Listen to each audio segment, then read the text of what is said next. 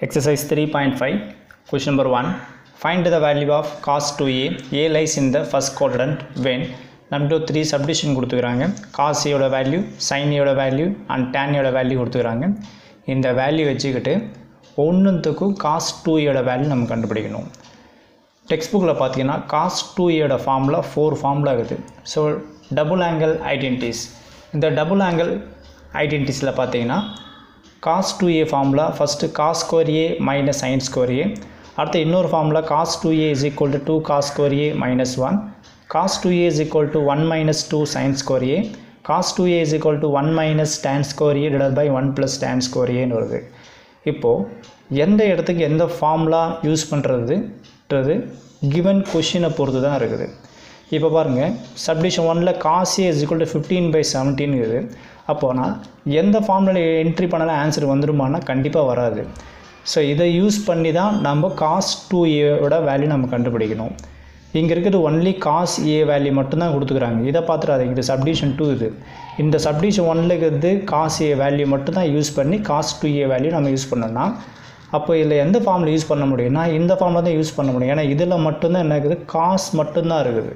இங்கே பாருங்கள் அப்போ இந்த ஃபார்மில் யூஸ் பண்ணி தான் காஸ் டூயோட ஃபார்மில் யூஸ் பண்ண முடியும். அப்போ இதுலேருந்து cos two A is equal to subdivision one cos two A is equal to ஃபார்முலது two cos square A minus one ஓகேங்களா மற்ற ஃபார்மில் ஏன் அவாய்ட் பண்ணோன்னா இங்கே கொடுத்து ஒன்லி காஸ் ஏயோட வேல்யூ மட்டும் தான் கொடுத்துக்கிறாங்க. ஆனால் இதை மட்டும் தான் நம்மளால் யூஸ் பண்ண முடியும். அதனால் இதை மட்டும் யூஸ் பண்ணிக்கிட்டேன். இப்போ பார்த்தீங்கன்னா இதில் என்ட்ரி பண்ணுங்கள் ஸோ இதில் இந்த டூ காஸ் ஏவோட வேல்யூ அது ஃபிஃப்டீன் பை செவன்டீன் இதுக்கு மேலே full power square minus one next இந்த டூ அப்படியே இருக்கட்டும். ஸோ ஃபிஃப்டீனை ஸ்கொயர் பண்ணுறீங்க ஸ்கொயர் பண்ணுறப்போ டூ டுவெண்ட்டி ஃபைவ்னு வரும். அண்டு செவன்டீனை ஸ்கொயர் பண்ணுறப்போ two eighty nine is common square அது. அண்டு ஒரு மைனஸ் ஒன் நெக்ஸ்ட்டு இதை மல்டிப்ளை பண்ணிடலாம். Two twenty five into two multiply பண்ணுறப்போ என்ன கிடைக்கும்? தட் இஸ் அ ஃபோர் ஃபிஃப்டின்னு வரும். Divide by two eighty nine minus one இதை cross multiplication பண்ணிடுறேன். செட் டிவிஷன் எதுவுமேலாம் ஒன்றுன்னு அர்த்தம்.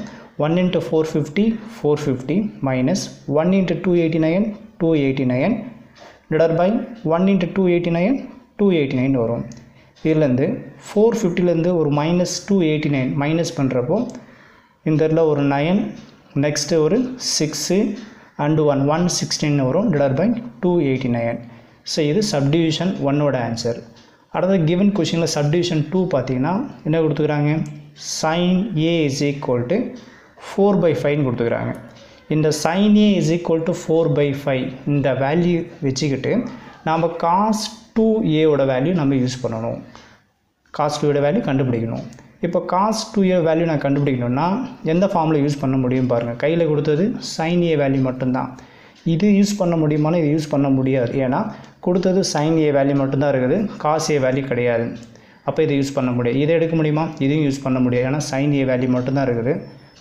இதை எடுக்க முடியும்னா இதுவும் எடுக்க முடியாது. ஏன்னா இங்கே டேன் இருக்குது. அப்போ எதை யூஸ் பண்ண முடியும்னா இதை தான் யூஸ் பண்ண முடியும் இந்த இடத்துல. அப்போ இந்த இந்த இடத்துல cos two A is equal to இந்த formula is one minus two sin square ஏன்னு என்ட்ரி பண்ணுங்கள்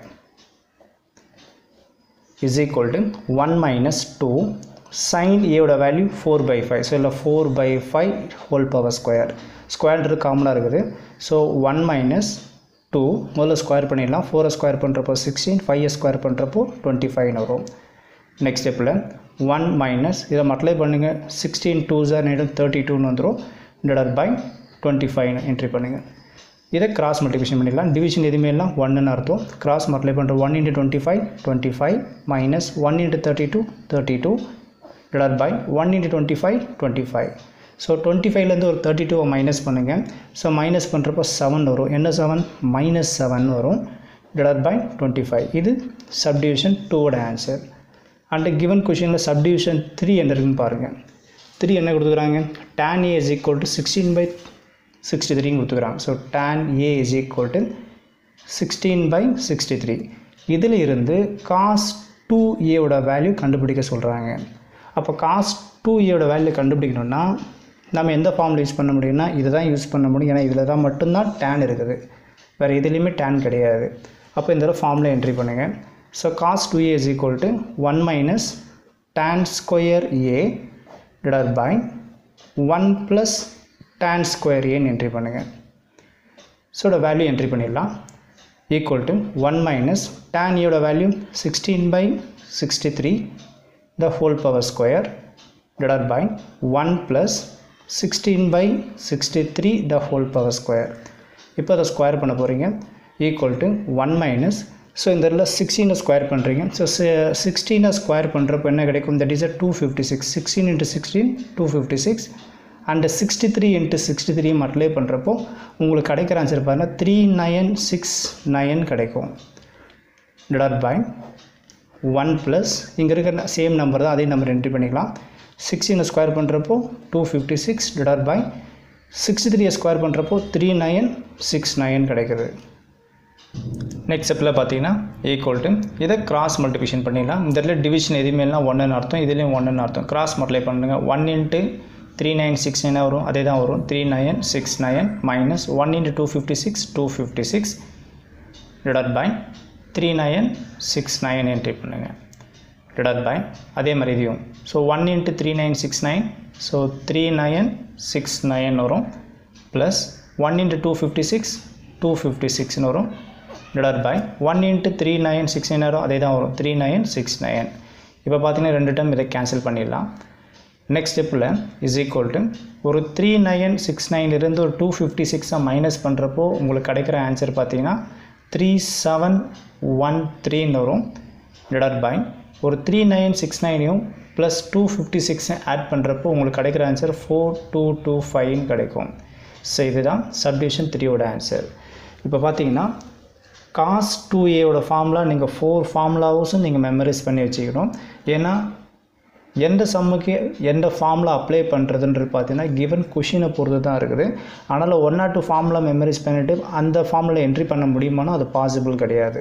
அதனால் இங்கே இருக்கிற ஃபோர் ஃபார்முலாவும் மெமரிஸ் பண்ணுங்க cos two A formula so இதுலேருந்து கிவன் கொஷின் த்ரீ சப்டிஷனோட காஸ் டூ ஏ ஆன்சர் கேட்டாங்க. ஸோ த்ரீ சப்டிஷன் ஆன்சர் நம்ம கம்ப்ளீட் பண்ணிட்டோம். Thank you students